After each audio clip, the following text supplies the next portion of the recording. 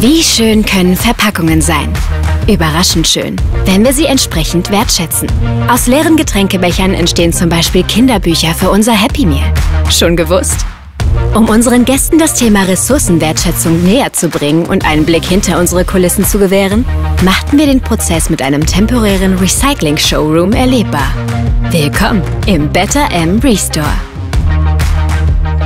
In unserem mobilen Showroom konnten unsere großen und kleinen Gäste nicht nur mehr über unser Nachhaltigkeitsengagement erfahren, sondern sogar live erleben, wie ein leerer Getränkebecher in vier einfachen Schritten recycelt wird.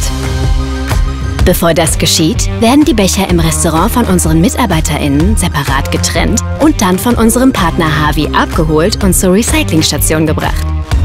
Im Recyclingprozess werden die Becher zunächst geschreddert, dann mit Wasser und Seife gemixt und eingeweicht. Unter Highspeed werden die Papierfasern im nächsten Schritt von Kunststoff und Farbe befreit, bevor sie dann mit viel Druck und Wärme zu einem feinen Brei verarbeitet werden.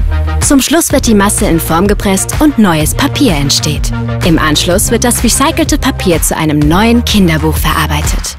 Finde ich super, äh, kann mir super vorstellen, wie das in echt aussieht, jetzt auch wenn es hier das kleine Modell ist. Ich habe mir auch schon meinen eigenen äh, Becher recyceln lassen, habe mir natürlich auch den ganzen Prozess angeguckt, die einzelnen Schritte und auch wenn es jetzt kleine Schritte erst sind, ist das einfach der Weg dann auch zum Erfolg und zu einem nachhaltigen Unternehmen. Better M. Es braucht nicht viel, es braucht viele.